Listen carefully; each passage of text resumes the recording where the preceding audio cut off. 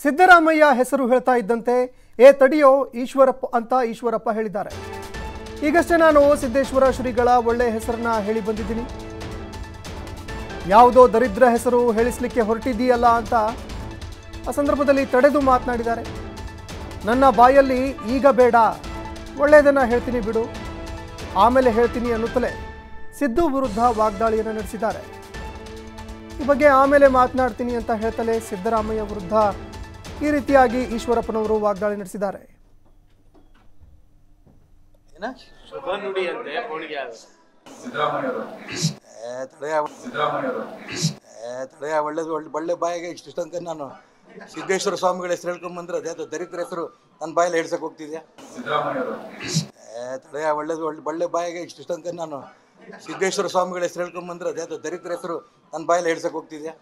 ತಡ್ಕೊ ಒಳ್ಳೇದು ಹೇಳ್ತೀನಿ ನಾನು. ಆಮೇಲೆ ನೋಡೋಣ ನೀನು ಬಿಡಲ್ಲ ಹೇಳ್ತೀನಿ ನಾನು. ಏನ?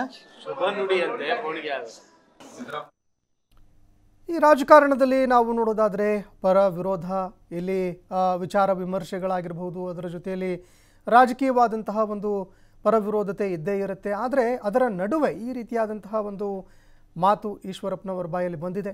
ಸಿದ್ದರಾಮಯ್ಯನವರ ಹೆಸರನ್ನ ಹೇಳ್ತಲೇ "ಏ, ಈಗ ತಾನೇ ನಾನು ಸಿದ್ದೇಶ್ವರ ಶ್ರೀಗಳ ಹೆಸರನ್ನ ತೆಗೆದುಕೊಂಡಿದ್ದೀನಿ. ಆ ದರಿದ್ರ ಹೆಸರನ್ನ ಯಾಕೆ ಹೇಳ್ತಾ ಇದೆಯಾ ಅಂಥೇಳಿ ಮಾತನಾಡಿದ್ದಾರೆ. ಇದು ಎಷ್ಟರ ಮಟ್ಟಿಗೆ ಸರಿ ಅನ್ನುವಂಥದ್ದನ್ನು ಈಶ್ವರಪ್ಪನವರು ಕೂಡ ಯೋಚನೆ ಮಾಡಿ ನೋಡಬೇಕಾಗತ್ತೆ. ಯಾಕಂದರೆ ಅವರು ಕೂಡ ಹಿರಿಯ ರಾಜಕಾರಣಿಗಳು.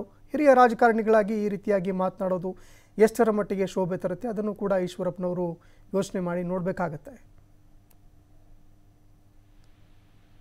ಸಿದ್ದೇಶ್ವರ ಸ್ವಾಮಿಗಳ ಹೆಸರು ಹೇಳಿಕೊಂಡು ಬಂದ್ರೆ ಅದು ದರಿದ್ರ ಹೆಸರು. ನನ್ನ ಬಾಯಲ್ಲಿ ಹೇಳ್ಸಕ್ಕೆ ಹೋಗ್ತಿದ್ಯಾ? ತಡ್ಕೊ ಒಳ್ಳೇದು ಹೇಳ್ತೀನಿ ನಾನು. ಆಮೇಲೆ ನೋಡೋಣ, ನೀನು ಬಿಡಲ್ಲ, ಹೇಳ್ತೀನಿ ನಾನು. ಹಾ ಏನ?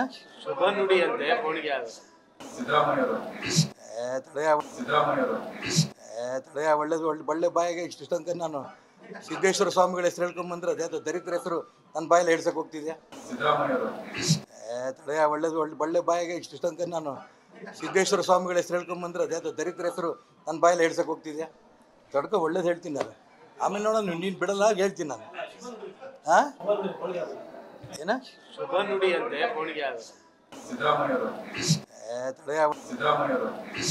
ಅದು ತಡೆಯ ಒಳ್ಳೇದು, ಒಳ್ಳೆ ಬಳ್ಳೆ ಬಾಯಿಗೆ ಇಷ್ಟು ತನಕ ನಾನು ಸಿದ್ದೇಶ್ವರ ಸ್ವಾಮಿಗಳ ಹೆಸರು ಹೇಳ್ಕೊಂಡ್ ಬಂದ್ರೆ ಅದ್ಯಾವುದೋ ದರಿದ್ರ ಹೆಸರು ನನ್ನ ಬಾಯಲ್ಲಿ ಹೇಳ್ಸಕ್ ಹೋಗ್ತಿದ್ಯಾ? ತಡೆಯ ಒಳ್ಳೇದು, ಒಳ್ಳೆ ಬಳ್ಳೆ ಬಾಯಿಗೆ ಇಷ್ಟು ತನಕ ನಾನು ಸಿದ್ದೇಶ್ವರ ಸ್ವಾಮಿಗಳ ಹೆಸರು ಹೇಳ್ಕೊಂಡ್ ಬಂದ್ರೆ ಅದ್ಯಾವುದೋ ದರಿದ್ರ ಹೆಸರು ನನ್ನ ಬಾಯಲ್ಲಿ ಹೇಳ್ಸಕ್ ಹೋಗ್ತಿದ್ಯಾ?